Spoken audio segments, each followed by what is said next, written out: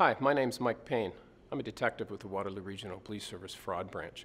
I'd like to take a minute of your time to bring to your attention some concerns we have in regards to counterfeit currency calls for service in our region. There's two things that are a concern to investigators and our service. We're seeing a rise in the counterfeit of Canadian polymer notes, as well as something that is called the training notes. A couple of things that you can do to prevent being victimized by counterfeit money is know your money. Feel the note. Canadian polymer will feel plastic and rubbery. You'll feel raised ink as you touch the note. The large window should have a holographic stripe, a clear window. You should be able to see through this window.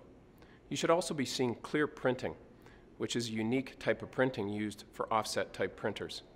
You can also flip the note. Check both sides of the note for color shifting ink. The other concern to us is what we're seeing is called a training note.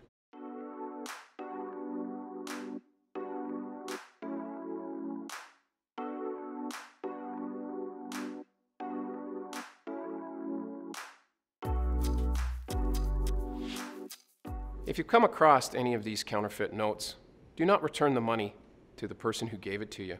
Call the police as soon as possible.